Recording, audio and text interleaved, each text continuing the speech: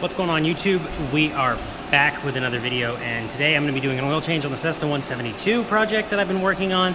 This is the first oil change since its initial break-in engine run. So we're going to be looking for metal and some other stuff like that. I do also have some big announcements. One of the owners has sold his half. I'll show you what he bought here in just a minute.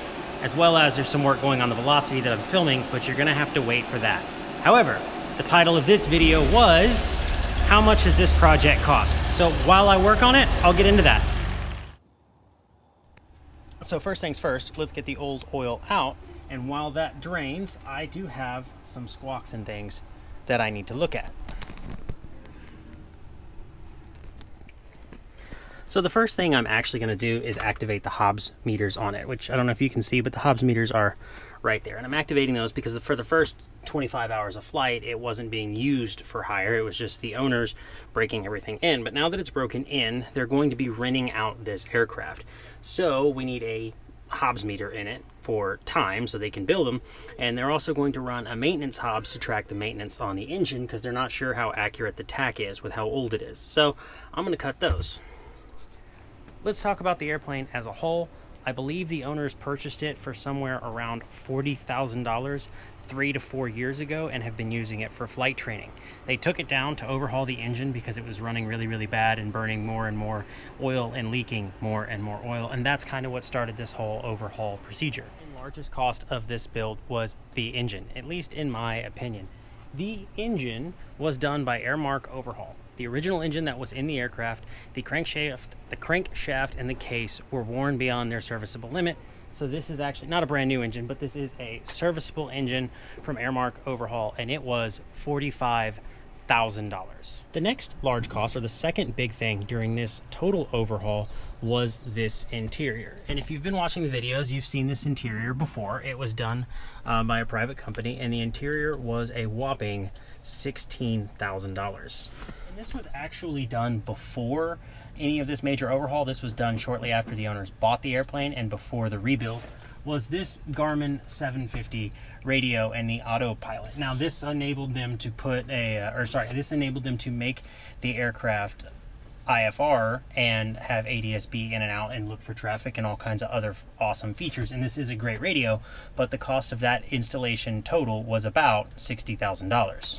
The oil is finally out, which means I can get this quick drain closed and get the screen out of it. But that brings me to my next cost, which was the paint job. Obviously, the owner did repaint this aircraft himself. So he stripped it himself, he painted himself, he bought the equipment to paint it himself, and did all of that work himself. Now, without putting a number on it, it's kind of hard because he had to buy an air compressor, he had to buy a refrigerated dryer, he had to buy a lot of things that were very expensive. So if we just looked at the at the cost of materials, just the materials, just the paint, and getting it sprayed, I would say was somewhere between five and ten thousand dollars.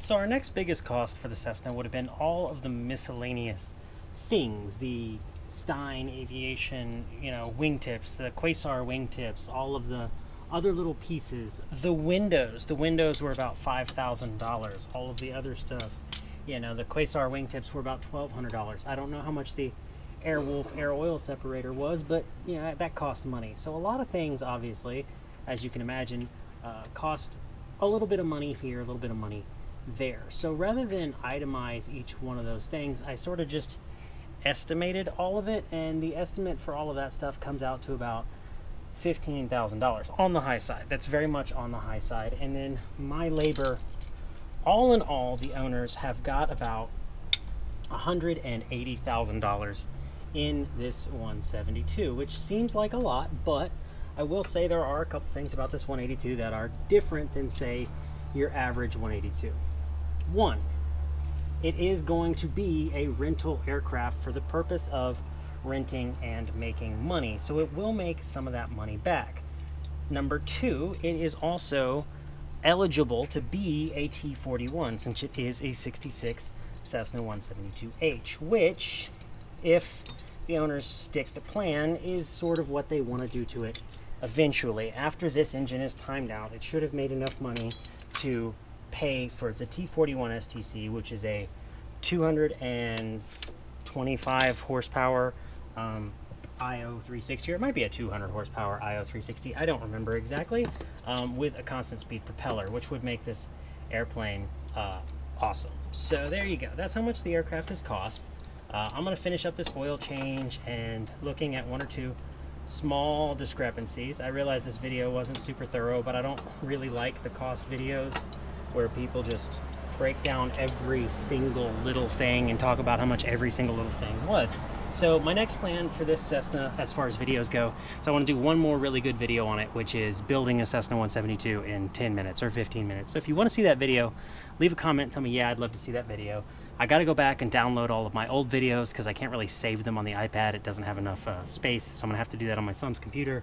Um, but I'd like to make one of those building a Cessna videos in, in 10 minutes and turn it into a montage to some music, something like that. So, as always, leave us a like, leave us a comment, subscribe, and I'll show you what Lyle bought.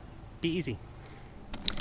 Okay, everybody, so this is my buddy Lyle. Lyle, I should say now, was the owner of the 172 yep. project. He has sold his half. He's the one who actually did all the work, stripping it apart, painting it, all of that, all that heavy lifting, and then all I did was put it back together. But he has sold his half to the other partner, Fred, and he has bought this absolute beauty. Yep. Indeed. Tell them what it is, Lyle. That is a 1986 Mooney uh, 305 Rocket. Uh, as you can see, 252, that was the K model. And Rocket Engineering put a 305 horsepower uh, TSIO 520 NB17 engine in it. Uh, anyway, lots of power. Uh, it does not want to slow down. Uh, you can achieve uh, with, if you don't mind turning dinosaurs into air, uh, by burning gas, uh, you can achieve 225 knots uh, way up in the flight levels. Uh, so yeah, you can you can get going pretty dang fast. It does not want to slow down.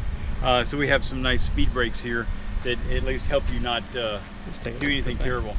But, Unfortunately. So yeah. He's right. taking it back to Arizona with him. So it will not be in my life very often other than when he comes to Texas to visit. But and to bring it to you for an annual. for an oh well, thank you for that.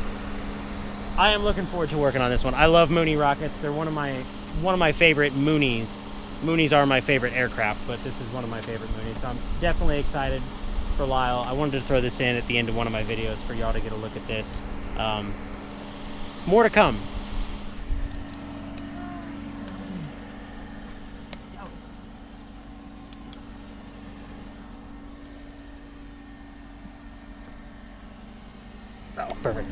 I like those head.